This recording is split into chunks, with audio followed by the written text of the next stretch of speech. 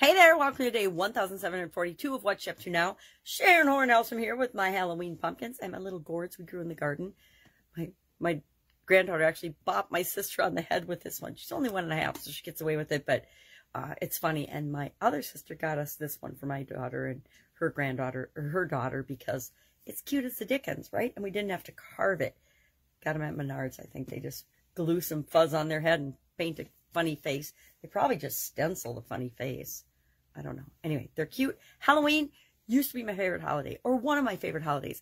Halloween, Thanksgiving, and Christmas. This time of year I absolutely love, as do many people, right? You either love it or you hate it. And there's a whole lot of people in the middle. Everybody says there's nothing in the middle, but there's a whole lot of people that are kind of plus or minus on the holiday, depending on what's going on outside of them, which is the absolute wrong way to look at things, right?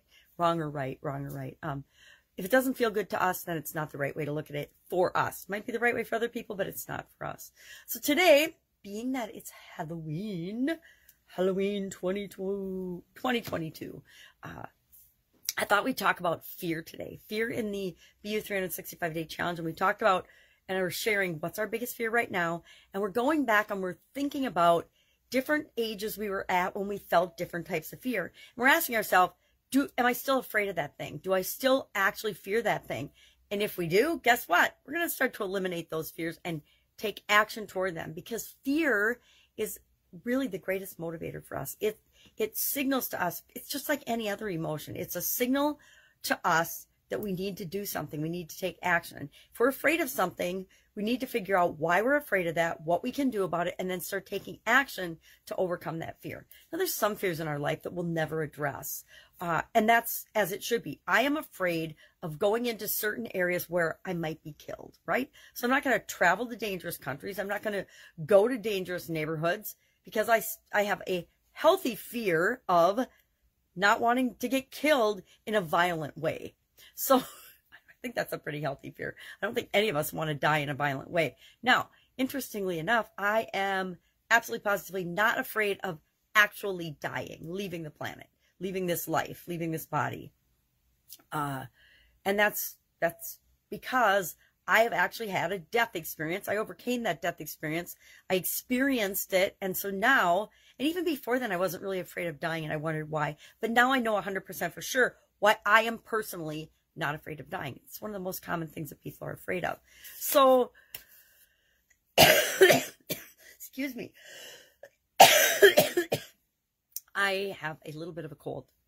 COVID cold, I don't know, but I've gotten my my granddaughter and my daughter sick now too. My daughter's pregnant with my third granddaughter, so I feel a little bit guilty. I don't know how I even caught it or got it first because I'm not around very many people, but apparently germs can get us wherever we are, right? So all the protection and all the things we think we're doing aren't necessarily 100% effective. But let's talk about fears. Fear. and one of my friends did a, a video yesterday, I think, about the COVID pandemic and fear and how we're so afraid that we're going to all get COVID. And I will say, as much as I try to stealth myself against things like that, what's one of the first things I think every day since we've all been brainwashed to believe we're all going to get COVID and die? Uh, one of the first things I think when I wake up sniffly or stuffy is, oh my God, do I have COVID? My daughter made me go get it. My sister brought over tests so I could test and it came back negative. But then it's all about, well, the home tests are unreliable. Maybe you should go get a test. And I'm like, I'm not going to get in a test. So maybe I should have since my daughter and my granddaughter are sick. But I'm not going to live in fear. I choose not to live in fear of a virus that number one, I'm pretty convinced I had in the very beginning of it, and I had a super bad version of it, and am still here today to talk about it. And number two, every cold, every sniffle, every runny nose, now that runny nose has been added to the symptom list for all categories of people, vaccinated, unvaccinated, boosted, unboosted, runny nose, which we all were told for how long, it wasn't a symptom of COVID, which always gave me you know, solace in, okay, I just have a cold or I just have allergies because my nose is runny. Now, just about anything that you would see or, or experience with a common cold or flu is being called COVID. So what the heck even is COVID? That, that's, that's something I'm deciding and choosing to let the fear go around it. And I am not going to live my life based on other people's fear. We get enough, we're scared of enough stuff on our own. It's interesting. We're not born with any fears except of loud noises and of falling. And every other fear we learn through our experiences.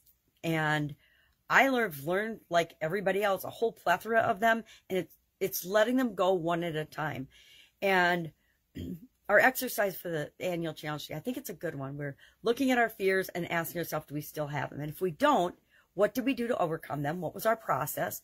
And I guarantee it will 100% always involve deciding you were going to overcome it and take action toward overcoming it, usually moving us into the fear.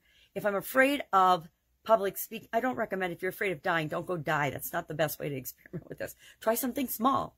If you're afraid of eating a particular food, try eating that food. And unless you're allergic to it, please don't eat it if you're allergic to it. You should be afraid of things we're allergic to because they could kill us, right?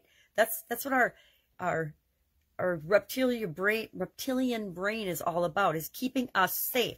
You know, if a bear's chasing us, oftentimes we should run away or a tiger or whatever you could think of some predator we should often evade and get away fast right that's what our whole fear mechanism has been designed for yet the days of being eaten by saber-toothed tigers and bears and other physical predators are long gone for the vast majority of us on the planet. So our brains decided to make up different things for us to be afraid of. How many of us are afraid of not being good enough? How many of us have ever experienced comparing ourselves to others and thinking we just don't measure up? How many of us have been afraid of trying something new, doing something new, picking up a new sport or hobby because we might look foolish or embarrassed? Almost everybody at some time in our life has felt that way. And depending on how you were treated when you stepped out of that comfort zone will determine whether you're willing to step out of the comfort zone again or not. If we step out of our comfort zone and things work out well, we're more willing to do it again than if we step out of our comfort zone and we feel like every time we try something new or step out of our comfort zone, we get knocked down, slapped in the face, and, and just bowled over. We're less likely to stand up and say, thank you very much, give me another, right? Somebody punches us in a fa- in the face, are we going to try to avoid that person next time? Or are we going to go let them punch us in the face every day? You know, think of bullying and, and things like that. So what are some of the biggest fears? And I guess I challenge you to think about the things you're afraid of today and uh, ask yourself, maybe, how long have I been afraid of this? Or is it something new? I have new fears popping up all the time and things that I thought I would absolutely positively never be afraid of in my life when I was younger. Now I find myself actually niggling and being slightly fearful of those things. And I'll tell you what, when I notice them, I'm going to start leaning into and stepping into them starting today because I realize they are my biggest triggers, my biggest motivators, the biggest signs showing me what I need to work on, where I need to go, what I need to stretch, and how I need to be to show up in the world the way I want to show up. Our idiom for today, and I actually read about 20 different idioms about fear and fright and and um, being afraid, many of which we've already covered in the Supersize Your Business for Female Entrepreneurs group. We've already covered them and talked about where they come from, what do they mean, and how can you apply them to your business. And today's the one I picked was scare the living daylights out of me or you. Uh, because why? It's, I've had a lot of experience with that one. I've been scared a lot because, um, I grew up in a family where some of my sisters like to play practical jokes and prank us. Also thought that when we were growing up, we lived in a house that was haunted. I don't know that it was haunted. It was an old house with radiator heat, and so it made a lot of funky sounds. But we as little girls believed it was haunted. I don't know that we ever saw ghosts, but I did make one up when I was a teenager to keep my sisters out of my bedroom. I, I made up an imaginary friend named George, the sea captain who lived in my closet because my sisters said we'd lived in the house since we were little girls and we, you know, a lot of us believed there were ghosts there or spirits there. Uh, and so it was easy to convince them that I had a ghost living in my closet, which, which makes me laugh now, right? I mean, really, really sisters? My sisters are really smart, but it was funny when we were kids. All right. So then I shared like 20 different idioms.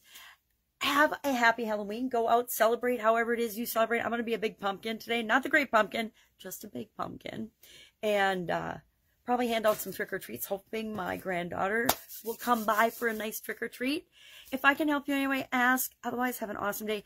I am finally, I'm traveling in a week, so I figured I better start getting ready today for a big long trip. But if I can help you, ask. Otherwise, I'll be with you tomorrow.